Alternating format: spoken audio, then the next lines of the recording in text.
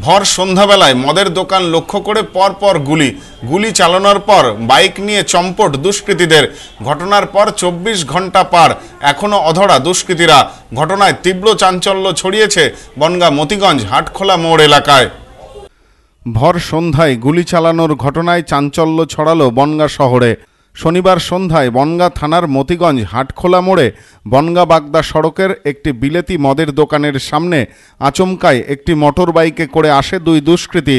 দুষ্কৃতীরা মাথায় হেলমেট পরিহিত ছিল দুষ্কৃতীদের মাথায় হেলমেট ছিল বলে জানান স্থানীয় দোকানদাররা। বাইক থেকে একজন নেমে কোমরে থাকা আগ্নেয়াস্ত্র বের করে দোকানের দিকে তাক করে পরপর দুটি গুলি ছোড়ে। ফিরে যাওয়ার আগে বাইকে উঠে আরও একটি গুলি ছোড়ে শূন্যে। বাহান্ন কি তিপ্পান্ন বাজে। আমরা সবাই যে যার কাজে ব্যস্ত ছিলাম। হঠাৎ দুজনা বাইকে করে আসে। বাইকে করে আসার পরে দুজনেরই মাথায় হেলমেট ছিল। খুব বেশি বয়স নয়, ছেলে দুটো হঠাৎ এসে চার রাউন্ড ফায়ারিং করে এখান থেকে চলে যায়। কোনো কারণই নেই। এমনি ফায়ারিং করে চলে যায় এখান থেকে। ব্যাস, এইটুকু মোটরসাইকেলটা এসে দুটো ফায়ার করল। একটা ফায়ার আমার দোকানের সামনে ওইখানে গর্ত হয়ে আছে। আর একটা ফায়ার করেছে, সেটা আমার দোকানের ভিতরে চলে এসছে। বাইকে দুজন ছিল। না তাদের চিনতেও পাইনি মুখও দেখতে পাইনি হেলমেট পরা ছিল। কটা গুলি চালিয়েছে ওরা ফার্স্ট টাইম দুটো আবার গাড়িতে উঠে এগিয়ে গিয়ে আবার আরেকটা। দোকানে ঢুকেছিল? না। দুই বাইক আরোহী মাথায় হেলমেট দেওয়া ছিল ফলে স্থানীয়রাও কেউ শনাক্ত করতে পারেনি। ঘটনায় দোকানের এক কর্মচারী অল্প বিস্তর আহত হয়েছেন।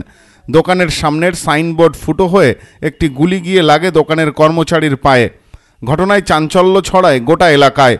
প্রথমে এখানটায় মদের দোকানের সামনে চার রাউন্ড আর একটু এগিয়ে গিয়ে সামনে আবার দু রাউন্ড আমরা তো খুবই আতঙ্কের ভিতর আছি এখানটায় কারণ এরকম জিনিস হয়নি আগে কখনো কোনো দিন এই এলাকায়। যার জন্য আমরা খুব আতঙ্কের মধ্যে আছি এখানটায়। যে গতকাল ঘটনা ঘটেছে, সিসিটিভি ফুটেজে দেখা গেছে। সিসিটিভি ফুটেজ এবং বনগাঁ শহর সিসিটিভি ফুটে সিসিটিভি দিয়ে মোড়ানো আছে। তাহলে কেন এখনও সেই ক্রিমিনাল ধরা পড়ল না? ইমিডিয়েট সেই ক্রিমিনাল যদি ধরা না পড়ে, আমরা কিন্তু সারা বনগা স্তব্ধ করে দেবো।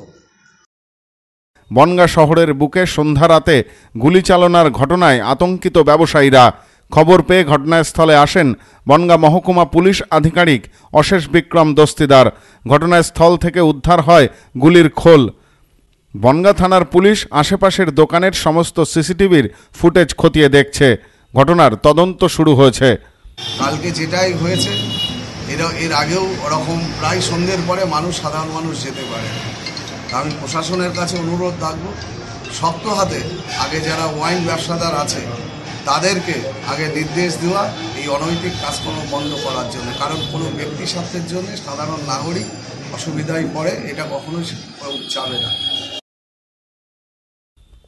Bureau report, news no man's land, Bongaon.